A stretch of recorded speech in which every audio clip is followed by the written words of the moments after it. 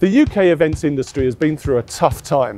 However, event professionals are also renowned for their creativity and resourcefulness.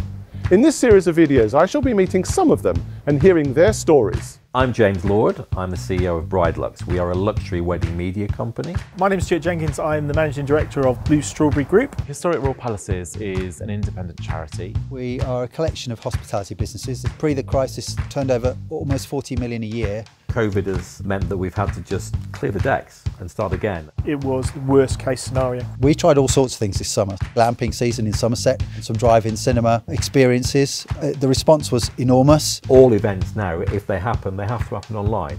Is there a hybrid option and what does that look like? I think we've all found new depths of resilience that perhaps we didn't think we had. You've got to do what you've got to do to survive. We all came together. The resilience is really out there and that's really heartwarming to see.